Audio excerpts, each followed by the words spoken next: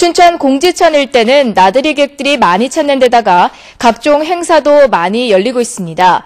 하지만 주차장이 크게 부족해 주차장 확충이 시급한 실정입니다. 손원규 기자의 보도입니다.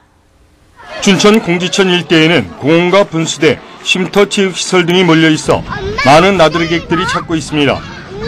하지만 주변 네 곳의 주차장에는 250대 정도만 주차할 수 있어 주말과 휴일, 관광 시즌에는 주차 공간이 절대적으로 부족한 실정입니다.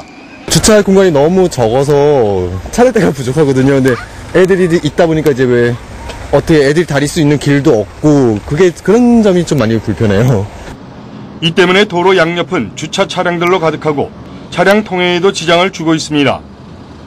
심지어 도로교통법에 주차가 금지되어 있는 다리 위에까지 주차를 하고 있습니다.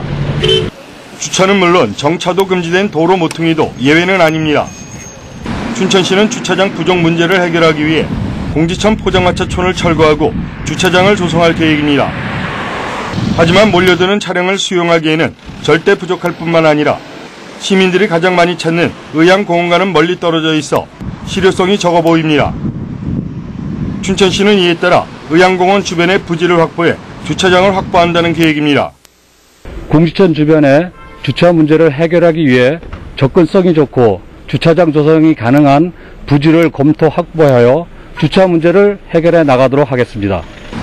하지만 대부분이 사유지와 국유지 등이어서 매입 보상에 막대한 예산이 필요해 선뜻 나서지 못하고 있습니다.